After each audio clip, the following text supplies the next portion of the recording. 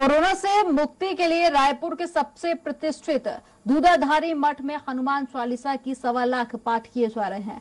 मठ के मठाधीश राम सुंदर दास ने आम लोगों से भी हनुमान चालीसा का 11 बार पाठ करने की अपील की है उन्होंने कहा है कि हनुमान चालीसा में कहा गया है कि नाशे रोग हरे सब, पीरा, जपत, निरंतर, हनुमत, बीरा।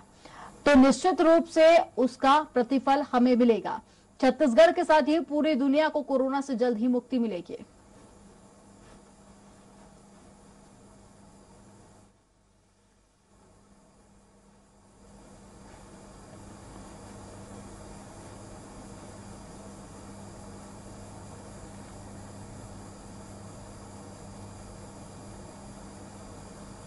हमारे साथ दूधाधारी मठ के मठाधीश महंत जी मौजूद हैं।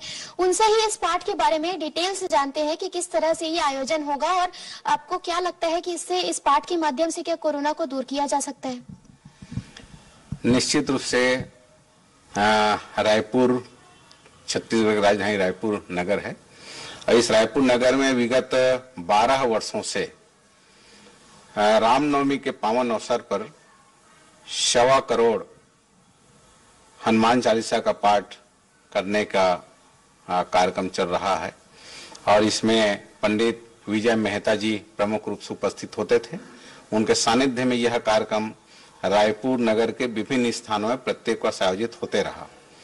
लेकिन इस समय इस वैश्विक महामारी कोरोना के कारण यह आयोजन रामनवमी के पावन अवसर पर नहीं हो पाया था। तो अभी शारदीय नवरात्र चल रहा है। आज उसका द्वितीय दिवस है। इस दिन आ, हम सबने यह तय किया है कि रायपुर नगर में और पूरे छत्तीसगढ़ में इस आयोजन को किया जाए। और चूँकि शासन प्रशासन का नियम का पालन करते हुए किसी एक जगह पर इस कार्यक्रम को हम नहीं कर पा रहे हैं तो इसलिए हमने आग्रह किया है कि जो जहाँ है अपने घर में अपने कॉलोनी में आ, किसी गार्डन में या फिर चौक चौराहे जहाँ भी बैठ करके नियम का पालन करते हुए इस हनुमान चालीसा पाठ को करें तो निश्चित रूप से इससे यह जो वैश्विक महामारी है, उससे छुटकारा मिलेगी। क्योंकि हनुमान चालीसा में ही कहा गया है कि नाशय रोग हरय सब पीड़ा और जपत निरंतर हनुमत वीरा। तो हनुमान चालीसा में कहा गया है तो निश्चित रूप से उसका प्रतिफल हम सबको मिलेगा।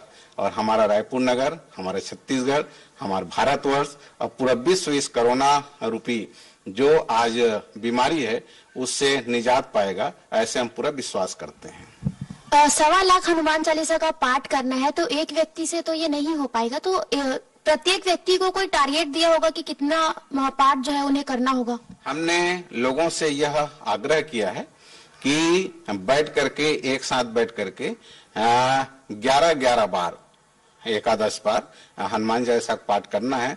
और हम ऐसा मानते हैं कि पूरे रायपुर वासी, छत्तीसगढ़ वासी, यदि ऐसा करते हैं तो वो सवा लाख से भी ज़्यादा होगा।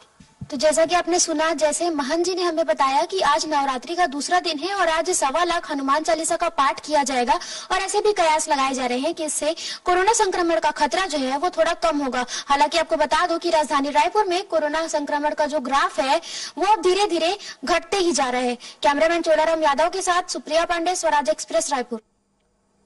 तो बुलेटिन में इतना ही, आप देखते